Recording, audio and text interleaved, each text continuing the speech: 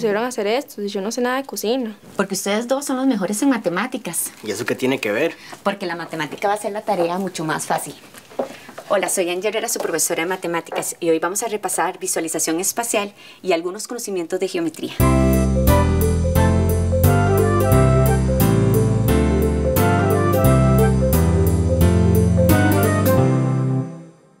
Observemos estos ingredientes, qué forma presentan. Uy, casi todos son cilindros. Y también hay algunas esferas. Vamos a empezar con estos que son cilindros circulares rectos.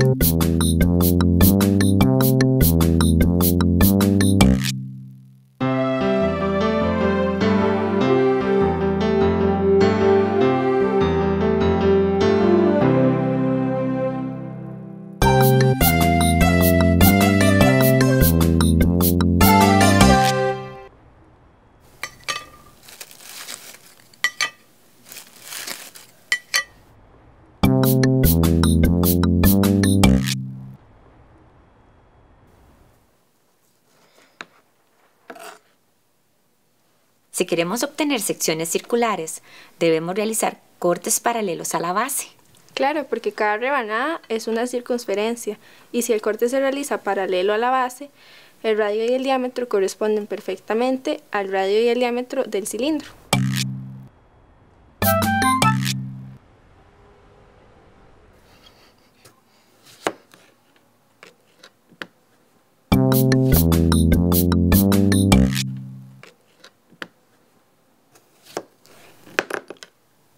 Me equivoqué. Las corté torcidas. Como el corte es oblicuo y no pasa por las bases, resultaron elipses. Pero eso no va a ser problema.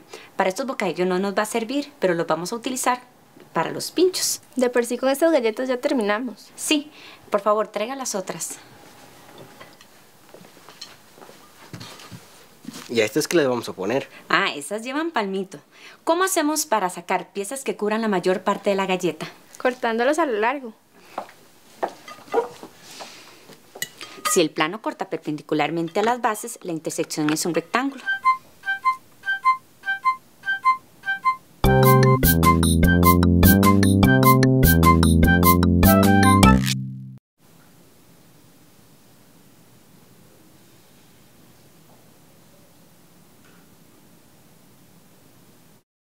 Así de esta manera cubrimos mejor la superficie.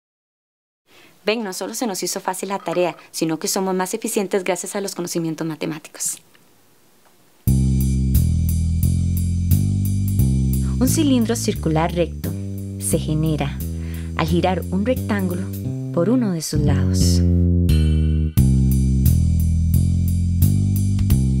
La forma de una sección plana que se obtiene de un corte paralelo a la base es una circunferencia cuyo radio y diámetro corresponden al radio y diámetro de la base del cilindro. Si el corte no es paralelo y no corta las bases, la figura se denomina elipse. Y si se interseca de manera perpendicular a las bases, la figura es un rectángulo.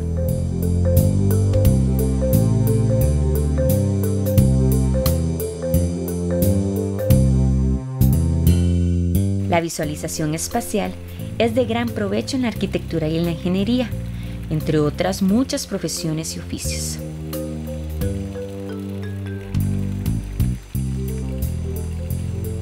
El corte en elipse de la bajante de la canoa permite que el agua de lluvia se direccione mejor al caer.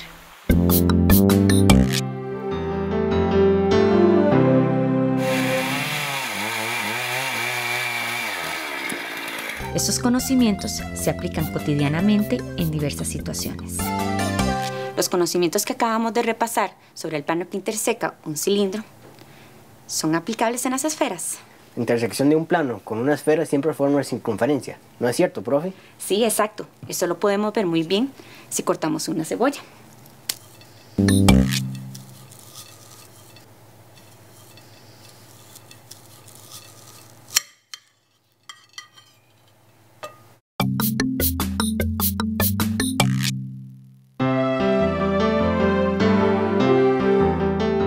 Importa dónde intersequemos la esfera, siempre obtendremos una circunferencia.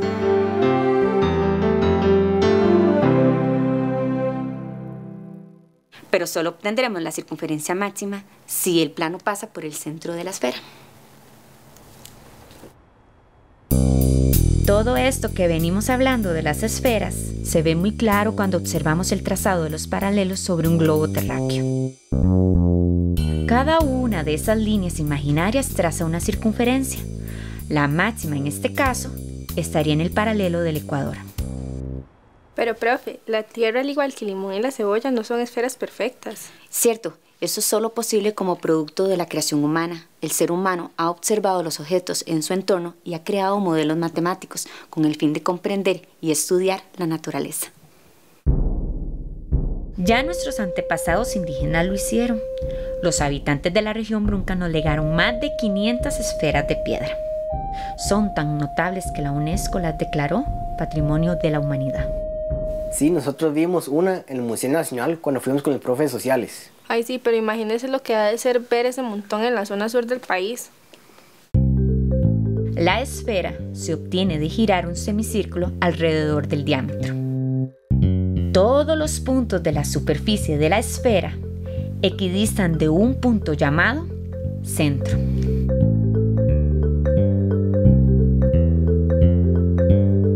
Ay, qué rico se ve todo. Bueno, terminamos. Sí, pero antes de irnos, repasemos. Cuando ella cortó el embutido en un plano paralelo a la base, obtuvo una circunferencia. Cuando él hizo un corte oblicuo en el pepino sin pasar por las bases, obtuvo una elipse. Y con los palmitos vimos que cuando el plano corta ambas bases perpendicularmente, la intersección es un rectángulo.